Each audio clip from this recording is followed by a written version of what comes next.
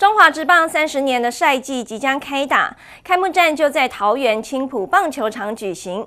为了吸引更多的民众搭乘捷运来观赛，桃园捷运公司特别和职棒球队合作，把机场捷运 A 十九站打造成充满棒球意象的主题车站，有球员休息室、牛棚、计分板等等的元素，让车站的大厅瞬间变得趣味十足，也成为民众打卡热点。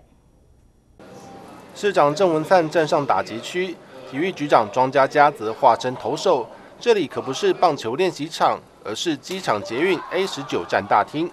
在职棒球季开打前夕，桃园捷运公司在这里行做满满的棒球元素，还有仿照球员休息室的区域，以及球迷看台区、计分板，巧妙的让球场特色融入车站。我觉得非常棒啊，对，而且旁边又是那个桃园棒球场嘛，对啊，非非常应景这个主题这样子，而且这样一走进来的感觉，就有有像来到我们桃园主场的感觉这样子，对，非常好。A 十九站紧邻桃园青浦棒球场，球迷搭捷运来看球超方便，而且还可以凭棒球赛票根搭乘捷运回程免费。现在多了这些棒球意象造景，是否也顺势推出打卡送纪念品的活动？只要在三月二十三、二十四两天。搭捷运来这里打卡，就可以拿到独家的纪念品。讲这是现在很多球迷喜欢打卡拍照的景点。那我们三月二十三号是这个中华职棒三十年。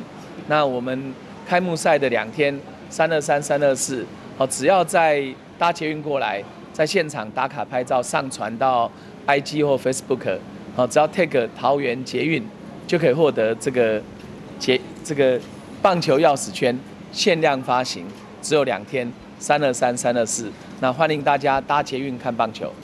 根据市府统计，在球季期间，平均每场比赛有六百人坐机场捷运来看球，大比赛的时候则超过两千人。